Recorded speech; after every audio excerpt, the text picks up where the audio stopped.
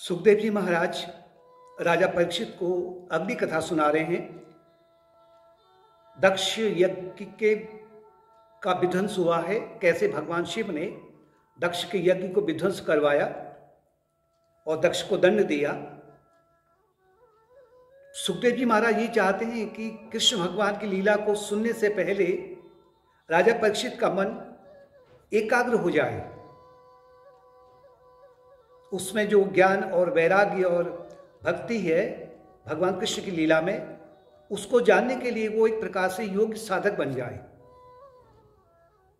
तो उसी क्रम में सुखदेव जी महाराज कहते हैं कि राजन, सृष्टि के आरंभ में, क्योंकि सृष्टि प्रलय है, फिर सृष्टि है, ये निरंतर क्रम चलते रहता है रात और दिन के समान में।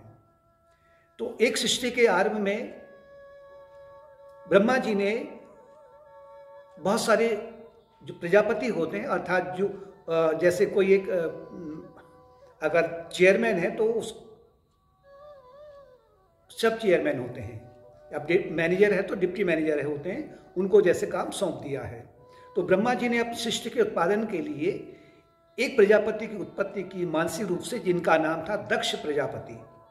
और दक्ष प्रजापति की सोलह कन्याएँ थी। सोलह कन्याओं का नाम क्या था? सिद्धा मैत्री, दया, शांति तुष्टि पुष्टि, क्रियोन्नति, बुद्धिर्मेधा, तितिक्षा ह्रिंग मूर्तिरह धर्मस्य पत्नय हो सोलह कन्याएँ थी और सोलह कन्याओं में से तेरह कन्याओं का विवाह किया गया धर्म से। प्रतीकात्मक रूप से मूर्ति रूप दिया गया है धर्म का। अब जहाँ धर्म है, उसकी पहचान क्या है? उस धर्म की पहचान, वहाँ श्रद्धा होनी आवश्यक है। मैत्री, दया शांति, तुष्टि का तात्पर्य संतुष्टि, पुष्टि, आध्यात्मिक रूप से पुष्ट होना चाहिए, क्रियोन्नति सेवा कार्य में लगे रहना चाहिए, बुद्धि बुद्धि तीक्ष्ण होनी चाहिए, निर्मल होनी चाहिए, तितिक्षा, सहनशीलता होनी चाहिए, रिंग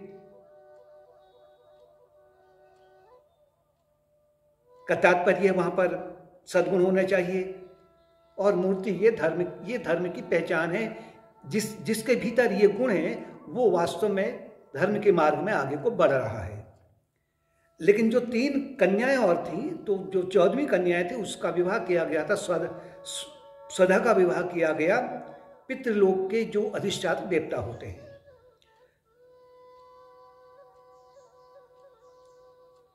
स्वधा का विवाह स्वाहा का विवाह किया अग्निदेव से, और जो सोलहवीं कन्या थी, उसका विवाह, जिसका नाम था सती सती का विवाह किया भगवान शिव के साथ में। सुखो वाचो, पुरा विश्वसज्जा सत्रे समेता परमर्शय हो तथा मरगणा सर्वे सानुगा मुनयो अग्नय हो। और इस प्रकार से दक्ष अपने राज्य में निरंतर यज्ञ का आयोजन करते रहते हैं। और एक बार दक्ष ने एक विशिष्ट प्रकार का यज्ञ और किया जिसमें अनेक देवताओं को आमंत्रित किया गया। ब्रह्मा भी हैं, विष्णु भी हैं, भगवान शिव भी हैं। शिव, अगर कहें तो यहाँ पर अब दक्ष कह रहा है कि मैंने अपने दामाद को भी आमंत्रित किया, क्योंकि दक्ष ने अपनी जो सोलहवीं कन्या थी, उसका विवाह भगवान शिव से किया है। तो वो शिव में एक प्रकार का देवत्व या इष्टत्व नहीं समझ रखता था। अपने से थोड़ा सा छोटा समझता था। बड़े बड़े देवता आ गए, ऋषि मुनि आए, राजा महाराजा आए। और नियम क्या होता है कि मतलब प्रक्रिया होती ना कि एक जैसे कोई एक नैतिकता है कि जो वहाँ का चेयरमैन होगा तो चेयरमैन के अंदर प्रवेश होते ही तो सब लोग उठते हैं उनको आदर देने के लिए। जैसे पूरे सभा भवन में दक्ष ने प्रवेश किया तो सभी ऋषि मुनि देवता सभी उठे, लेकिन ती, तीन लोग बैठे रहे। भगवान विष्णु और ब्रह्मा और भगवान शिव। अब दक्ष ने देखा कि सभी अपने अपने गद्दी से उठे हैं लेकिन चलो विष्णु भगवान नहीं उठे चलो ये तो भगवान है महान है। ब्रह्मा जी नहीं उठे क्योंकि ये मेरे मानसिक पिता हैं ठीक है। लेकिन जो तीसरा है ये जो शिव है ये क्यों नहीं उठा? तो बड़ा क्रोधित हो गया वो। उसके अहंकार को बड़ी ठेस लग गई। तो भरी सभा में उसने शिव का अपमान कर दिया। कहता है अयम तू लोकपाला नाम यशोगुनो निपत्र ये अपने आप को लोकपाल, सभी सभी संसार का महान समझता है। और ये तो इसने तो जो जो लोकपाल इत्यादि हैं, उनके यश का इसने हनन कर दिया है। इस घमंडी ने सतपुरुष के आचरण को लांछित किया है। इतना ही नहीं कहा, यह निर्लज महादेव। लोकपालों की कीर्ति को भी धूल में मिला रहा है। अपने आप को ये महादेव कहता है, लेकिन इसका काम क्या है, क्योंकि गुस्से में था, लाल पीला हुआ था, और जो भी अवगुण, जो भी अपने भीतर का खुमार था, वो सब उसने उड़ेला और फिर कहने लगा, चिताभस्म कृत स्नानम प्रेतस्तत्र अस्थिभूषण हो शिवापदेशो हबिशो मत्तो मत्त जनप्रिय। हो शमशान घाट की जो राख है, उसको अपने शरीर पर लपेटता है और प्रेतों के बीच में रहता है। इसके गण है, नग्न अवस्था में रहता है। गले में सर्पों की माला रहती है। क्या है इसके पास में कि जिससे ये अपने आप को महान समझ रहा है? शिव शांत बैठे रहे। उन्होंने कोई किसी प्रकार का प्रतिकार नहीं किया। जैसे कि उन्होंने सुना ही नहीं। इसी बीच में भगवान विष्णु ने जान लिया कि अब कुछ न कुछ अनर्थ होने वाला है तो भगवान विष्णु और ब्रह्मा जी चुपचाप वहाँ से खिसक लिए कि अब ये सभा भवन में बड़ा उत्पाद होने वाला है, और हुआ भी वही। दक्ष ने फिर कहा कि आज से मैं अपने यज्ञ में इसको कोई भी भाग नहीं दूँगा यहाँ तक कि जो मेरी कन्या सती है, उसको भी मैं आज से, उसका, उसको भी मैं आज से आमंत्रित नहीं करूँगा। मेरा संबंध इनसे आज से टूट गया है। दक्ष चले गया गुस्से में, लाल पीला होकर करके। भगवान शिव के साथ में उनके जो वाहन थे नंदी, बैल के रूप में वो भी थे, कुछ गढ़ भी थे। उनको ये अपने भगवान का जो अपमान किया है, वो उनको सहन नहीं हो पाया उनसे। उन्होंने एकदम से कहा कि ये दक्ष मूर्ख है, मूढ़ है ये। ये मनुष्य ये मनुष्य कहलाने योग्य नहीं है। इसका सिर कटेगा और पशु का सिर लगेगा, तभी ये शांत हो पाएगा, विनम्र हो पाएगा। लेकिन जो दक्ष के फेवर में थे, कुछ ब्राह्मण थे, इत्यादि थे, ऋषि थे, उन्होंने किया किया कि उन्होंने उन नंदी को और जो भगवान शिव के गण थे, उनको, उनका अपमान और उनके साथ मारपीट आरंभ कर दी। तो दक्ष का जो यज्ञ है, वो बड़ा उल्टा उल्टा सीधा हो पड़ा। मतलब सभा भवन में उथल पुथल मच गई।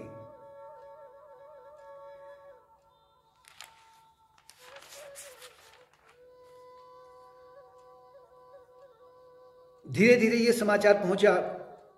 उसके बाद में भगवान शिव अपने अपने कैलाश पर्वत पहुँच गए। जब कैलाश पर्वत पहुँचे तो उन्होंने सती से कुछ भी नहीं कहा। लेकिन कुछ समय बाद में सती ने देखा कि आकाश मार्ग से बहुत विमान जा रहे हैं। दक्ष, जहाँ पर दक्ष का भवन है। देवता भी हैं, उसमें ऋषि मुनि भी हैं। तो सती ने कौतूहल बस अपने पति से पूछा, भगवान से पूछा कि ये विमान किसके हैं, कहाँ जा रहे हैं? तो भगवान ने कहा कि ये सब आपके पिताजी के सभा भवन में जा रहे हैं। यज्ञ का आयोजन किया है बहुत बड़ा और उसी में ये सम्मिलित होने के लिए जा रहे हैं। तो सती ने पूछा, क्यों आपको नहीं बुलाया है? मुझे नहीं बुलाया है? उन्होंने कहा, हमें नहीं बुलाया है। लेकिन सती ने कहा कि मेरे पिता हैं, मेरी माता है वहाँ पर तो मैं वहाँ जाना चाहती हूँ तो मुझे आप भेज दीजिए। भगवान ने कहा, तुम्हारा वहाँ जाना अनुचित है, कुछ अनर्थ होने वाला है। अगर तुम नहीं मानती हो, ठीक है, तुम जाओ और कुछ गणों को सती के साथ भेज करके उन्होंने भी उन्हें आकाश मार्ग से दक्ष के भवन में भेज दिया। लेकिन जैसे दक्ष के भवन में पहुँचे तो वहाँ देखा कि सभी का स्थान है, सभी अपने आसनों में विराजमान हैं। देवता है, ऋषि हैं, राजा महाराजा हैं। लेकिन सती देखती है कि मेरे पति भगवान शिव के लिए जो आसन है, वो है ही नहीं यहाँ पर।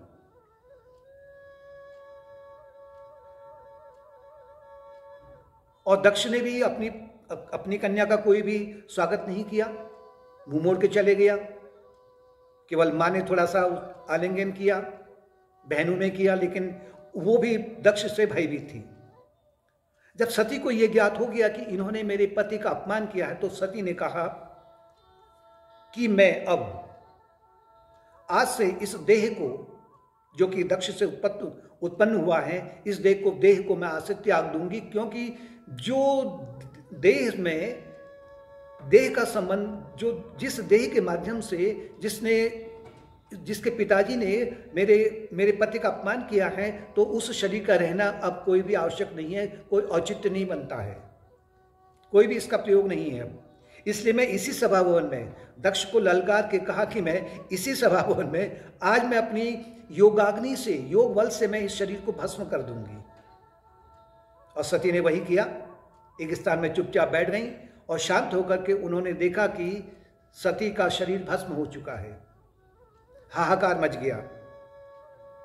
और कुछ समय के बाद में भगवान शिव को जब ये ज्ञात हुआ कि सती भस्म हो गई हैं तो भगवान शिव ने अपनी जटा से एक जटा तोड़ी और उससे धरती पर जैसे पटका तो उसमें से एक विशाल, एक विचित्र पुरुष की उत्पत्ति हुई, जिनका नाम था वीरभद्र, जो उनके महान गण थे। शिव गणों से शिव गणों में उनके महान गण थे, जिन्हें सेनापति भी कह सकते हैं। वीरभद्र को भगवान ने कहा कि तुम जाओ, गणों के साथ में थोड़ा सा दक्ष को दंड दे आओ, क्योंकि ये उसी के लिए उचित है। वो बहुत अनुचित कार्य कार्य कर रहा है। वीरभद्र जब पहुँचे वहाँ सभा भवन में तो उन्होंने क्या किया? यज्ञ भवन को उन्होंने तोड़ फोड़ दिया, और जिनकी मूछें थी, उनकी मूछें उखाड़ के रख दी। जिनकी दाढ़ी थी, दाढ़ी को किसी को आग लगा दी, किसी को उखाड़ के रख दिया। जो हंस रहे थे, भगवान शिव की तरफ़ को, उनके दांतों को उखाड़ के उनको भी फेंक दिया। किसी की किसी के आँखें उखाड़ के रख दी उन्होंने। और दक्ष का जो सिर है, उसे काट करके उन्होंने यज्ञ कुंड में डाल दिया।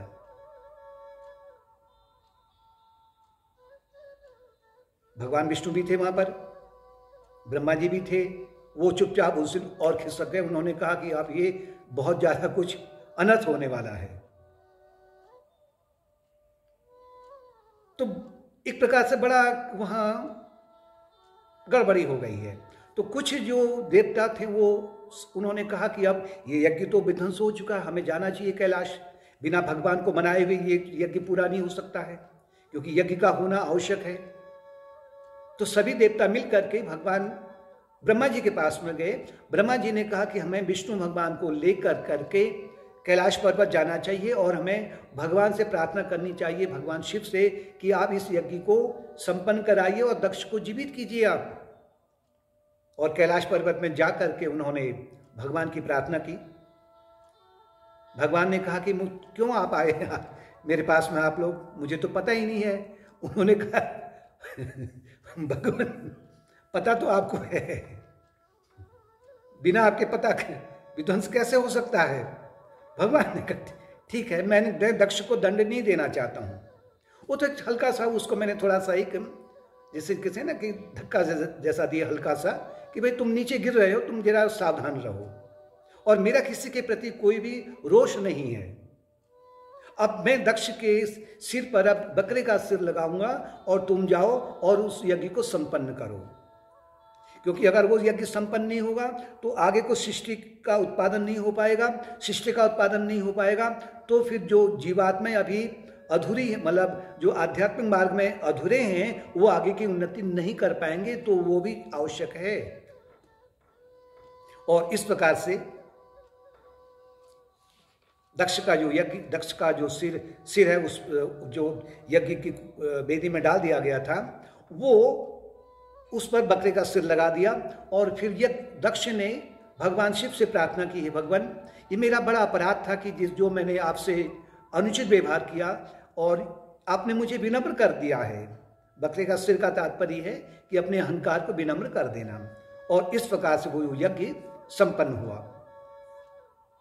अब ये जो विचित्र कथा है, ये वेदांत की शिक्षा से, वेदांत का तात्पर्य है कि जहाँ की सभी वेदों का कल्मिनेशन है।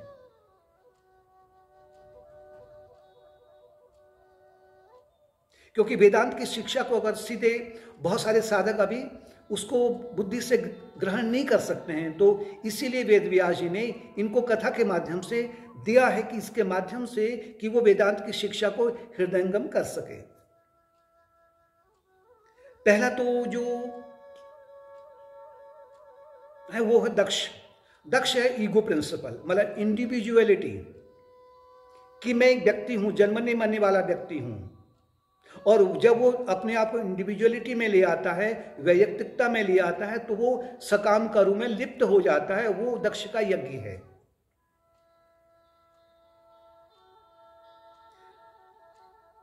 उस दक्ष के यज्ञ में सभी देवताओं का आह्वान किया गया है, उनको आसन दिया गया है, लेकिन भगवान शिव को नहीं दिया है। यानी कि वो संसार में विभिन्न प्रकार के देवी देवताओं की पूजा तो करता है, केवल सकाम सकाम कर्म के लिए, भौतिकता के लिए, स्वर्ग की प्राप्ति के लिए, नश्वर भोग की प्राप्ति के लिए, लेकिन मोक्ष की प्राप्ति के लिए वो कोई भी प्रयत्न नहीं करता है। यानी कि वो शिव को स्थान नहीं देता है। शिव का मतलब कि मैं कौन हूँ? उसको जानने का प्रयत्न नहीं करता है। जब तक वो दक्ष के समान में सकाम कर्म के, सकाम कर्मों के यज्ञ में लिप्त है। इस प्रकार के जो भी व्यक्ति कर्म करता है, वो उसका यज्ञ है, वो दक्ष के रूप में है।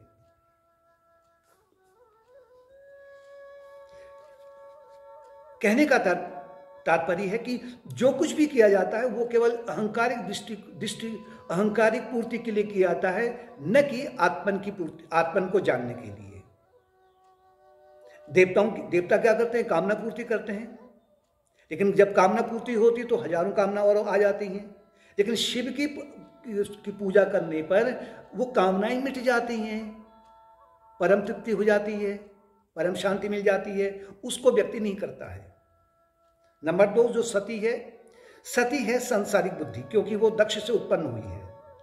जो जो व्यक्ति अभी वैयक्तिकता में उलझा हुआ है इगोस्टिक डिज़ायर में उलझा हुआ है, या सकाम कर्म में उलझा हुआ है, उसकी जो बुद्धि होगी, वो केवल संसारिक बुद्धि तक ही सीमित रहेगी। ठीक है, संसारिक बुद्धि संसार में अपने आप को मेंटेन करने के लिए बहुत सारा काम करती है। डिग्री ला सकती है बड़े बड़े अनुसंधान कर सकती है अन्वेषण कर सकती है बहुत कुछ सक, कर सकती है लेकिन ये बुद्धि आत्मज्ञान प्राप्त नहीं कर सकती है क्योंकि ये दक्ष की कन्या है। क्योंकि दक्ष ये चाहता है या जो व्यक्ति क्या चाहता है कि ये मेरा कहना माने और बुद्धि कभी भी उस दक्ष के सामने कोई भी प्रश्न नहीं रखती है। कहती जो महाराज आपने कहा कि ठीक है मैं उसके लिए तैयार हूँ। जो आप कर रहे हैं वो तैयार है मैं तैयार हूँ। ऐसी बुद्धि चाहती है कि वो आत्मज्ञान की ओर, ऐसी बुद्धि के प्रति दक्ष रूपी जो जीवात्मा वो चाहता कि आत्मज्ञान की ओर बढ़े ही नहीं, केवल भौतिकता की ओर बढ़े बस। लेकिन जब, जैसे ही सती का विवाह शिव से हो जाता है, शिव का तात्पर्य है कि जब साधक अपने, उसके जब पिछले जन्म के, अनेक जन्म के जब शुभ पूर्ण उदय हो जाते हैं और उसका जो लक्ष्य है, मैं कौन हूँ की ओर हो जाता है, मोक्ष प्राप्ति की ओर हो जाता है तो वो वो तात्पर्य है कि अब सती ने दक्ष के भवन में दक्ष का आमना सामना किया। दक्ष से प्रश्न पूछ रही है कि मेरे पति का भाग कहाँ पर है? आसन कहाँ पर है? अगर नहीं है तो मेरा तुम्हारा संबंध आज से नहीं हो सकता है। अब वो बुद्धि इतनी निर्मल हो, होने लग जाती है कि वो अहंकार से कहती है अरे अहंकार अरे ईगो अरे सकाम कर्म करने वाले जीवात्मा अभी तक तूने मुझको अनेक अनेक जन्मों तक भटका हुआ है, इन्हीं सकाम कर्मों के कारण में। अब मैं अपने आप को स्वयं को भस्म कर दूँगी, यानी कि वो बुद्धि में परिवर्तन हो जाता है। या तो इस जन्म में हो जाएगा परिवर्तन, या अनेक जन्मों की जो प्रक्रिया है, उन प्रक्रिया के माध्यम से वो अनेक जब शरीर को छोड़ता है तो वो है सती का भस्म हो जाना। सती का जो प्रण अब क्या है कि अब मैं अहमता और ममता के प्रति काम नहीं करूँगी। बस जैसी साधक अपने भीतर ये प्रश्न ले आता है कि मैं कौन हूँ हु एम आई तो वो फिर दक्ष की कन्या नहीं रह जाती है और श्रीमद् भागवत में सत्य की वो कथा नहीं है, क्योंकि और और जगह वो कथा है, रामायण में भी है, देवी भागवत में है। कि वो सती ने फिर उसके बाद में हिमालय राज के यहाँ अपना उन्होंने माँ पार्वती के रूप में, उमा के रूप में जन्म लिया था, जिन्होंने आरंभ से ही ये प्रण कर लिया था कि मेरे पति केवल शिव होने चाहिए।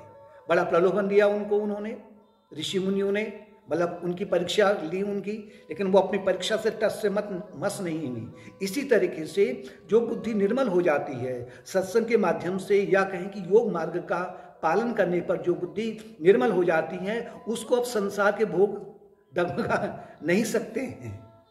उसका एक प्रण हो गया है कि मुझे अब आत्मज्ञान पाना है। कहने का तात्पर्य कि अब जीवात्मा का विवाह परमात्मा से होना निश्चित है। उमा अब शिव की अर्धांगिनी है।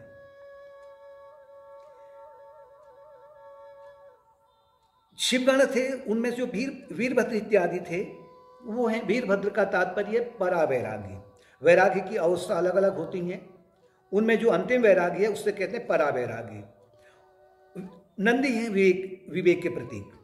विवेक और वैरागी के माध्यम से दक्ष का जो यज्ञ है, वो विध्वंस किया जाता है। दक्ष का जो भवन क्या है, वो सामान्य व्यक्ति का चित्त है अनकॉन्शियस माइंड है, और जो अनेक प्रकार की भ्रांतियों से उलझा पड़ा है। कि अरे संसार के भोगी सब कुछ हैं। काम में डूबे रहो, लोभ में डूबे रहो, मोह में डूबे रहो, हिंसा में डूबे रहो, आसक्ति में डूबे रहो, इस प्रकार का जो भवन है, दक्ष का जो भवन है, वो उसका प्रतीकात्मक रूप है। लेकिन दक्ष अर्थात वैराग्य और विवेक के माध्यम से उस सभा भवन को विध्वंस कर दिया जाता है। यज्ञ को बदल दिया जाता है। जो इस प्रकार की जो जो उसके भीतर अभी मूल्य है कि इस संसार के भोगों में ही सब कुछ सुख पड़ा हुआ है, उसको वो चकनाचूर कर देते हैं, जैसे कि उन्होंने दक्ष के यज्ञ को विध्वंस कर दिया होगा। भृगु देवता की उन्होंने क्या किया था? मूछे उखाड़ दी थी।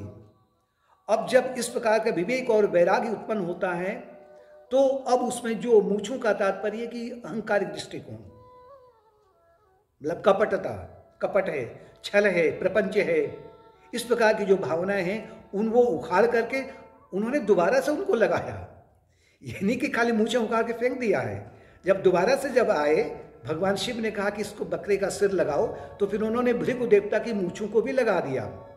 तात्पर्य कि वो विनम्र हो गया है। जहाँ कपट है, वहाँ वहाँ निश्चलता आ जाती है। जहाँ छल है, वहाँ छल हट जाता है, निश्चलता हो जाती है। जहाँ प्रपंच है तो वहाँ शांति हो जाती है। भग देवता की उन्होंने आँखें निकाल दी थी। जो आँखें केवल संसार के में नाम रूप के पीछे भगे रहता है, जो केवल इंद्रियों भोगों को ही सुख मानता है, वो आँखों को निकाल करके, अर्थात वो जो आँख है अब परिवर्तित होकर के, वो जो आँख दोबारा से उनको लगाई हैं वो आँखें अब केवल क्या देखती हैं कि नाम और रूप के पीछे केवल उसी परमात्मा को देखती हैं। एक वो हम द्वितीय नास्ती। धीरे धीरे आपकी जो चर्म चक्षु हैं, वो उखड़ कर करके दिव्य चक्षु में आ जाते हैं। और पूषा के दांत भी उन्होंने उखाड़ दिए थे। दांत का मतलब कि जो आध्यात्मिक मार्ग की ओर जो बढ़ रहे हैं, या इस मार्ग को जो उपहास इनका उड़ाता है। वो भी दक्ष के यज्ञ को, दक्ष का यज्ञ ध्वंस हो, विध्वंस होने पर वो भी दांत अब टूट जाते हैं और उसके बदले जो नए दांत आते हैं, वो दांत हैं मुदिता का भाव। मैत्री का भाव। करुणा का भाव। क्षमा का भाव। इस प्रकार से जो दांत हैं, वो वो निरंतर मुदिता के भाव में रहते हैं। यानी कि वो भगवत कृपा का अनुभव करते हैं तो प्रसन्न होते हैं। और शिव पूजा नहीं अगर होगी तो क्या होगा? शिव को भाग नहीं नहीं दिया जाएगा, यानी कि लक्ष्य अगर मोक्ष नहीं होगा तो इंद्रियाँ अनियंत्रित भटकने लग जाती है मिसगाइडेड हो जाती हैं। इंद्रियाँ मन के अंडर में नहीं रहती हैं। जैसे घोड़े के लगाम छूट गई है तो घोड़े अनियंत्रित हो जाते हैं। और इंद्रियों के हर एक, जितने भी इंद्रियाँ हैं, चाहे मन हो, चाहे पाँच इंद्रियाँ हो, शरीर के जितने भी अंग हैं, उन अंगों के हिंदू धर्म के अनुसार में विभिन्न प्रकार के अधिष्ठात देवता हैं। और वो देवता भी क्या होते हैं? वो भी मिसगाइडेड हो जाते हैं, वो भी दक्ष के पीछे पड़ जाते हैं। जैसे कि दक्ष के भवन में जो देवता आए थे, वो दक्ष का ही फेवर ले रहे थे। उसी की ओर बातें कर रहे थे। क्यों? क्योंकि वहाँ पर शिव का भाग नहीं दिया था। शिव का भाग जो भाग है, अंतिम जो है कि वो यही है कि एक संसार, एक सकाम कर्म है। सकाम कर्म जहाँ पर है तो वहाँ पर वो दक्ष का यज्ञ है। और इस काम कर्म को विध्वंस करने का तात्पर्य कि आप अब निष्काम कर्म की ओर बढ़ने लग गए हैं। तो आपके भीतर ही जो यज्ञ है, वो विध्वंस हो जाता है। तो आरंभ में दक्ष को बड़ा सा अटपटा लगता है, नाराज़ हो जाता है। क्योंकि उस अहंकार को पता है कि मैंने अनेक अनेक जन्मों से मैंने केवल सकाम कर्मों का तो भोग भोगा हुआ है। कभी स्वर्ग में, कभी नरक में, कभी और योनि में, कभी मनुष्य योनि में। उसी में वो डूबा रहता है। तो उससे हटना थोड़ा सा उसको थोड़ा सा अटपटा लगता है। तो वो समझो कि जैसे कि शिव का अपमान कर देता है। लेकिन जब बाद में उसे, जब वो, यानी कि जब भक्त साधना मार्ग को धीरे धीरे पकड़ता है तो उसको ये ज्ञात हो जाता है कि अब ये अहंकार विनम्र हो गया है। वो जो ईगो पहले फल फूल रहा था, गर्वित हो रहा था, अभिमान से फूल रहा था और वो विनम्र हो जाता है। भगवान के शरण